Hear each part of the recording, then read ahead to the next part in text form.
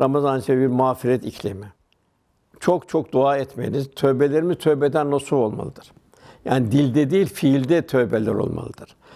Tövbelerimizi ameli salihlerle teyit etmemiz lazım. Yaptığımız yanlışlıklardan da bir daha yapmayın, ateşten kaçar gibi kaçmamız ve bize yaptığımız o kötü amele bir ızdırap vermesi lazım. Cenab-ı Hak Lokman suresinde sakın dünya hayatı aldatmasın, şeytan Allah'ın affını güvendiğinizi kandırmasın buyuruyor. Demek ki kul istikamete girecek, ameli salih sahibi olacak. Bir takım ruhani meziyetlerle müzeyyen hale gelecek. Cenab-ı Hakk'a daima bir istiğfar halinde olacak.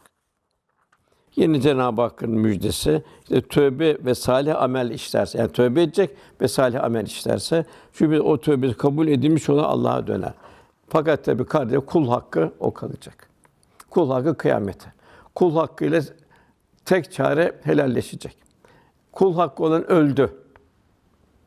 Onun çoluk çocuğuyla bunu ödeyecek. O da imkan yok. Onun için hayır hasenat yapacak. O imkanı da yok. Onun için kul hakkı geçen bol bol onun için istiğfar edecek Cenab-ı Hak'tan. Aksi halde kıyamet günü sevaplarını verecek. Sevapları biterse onun günahlarını yükselecek.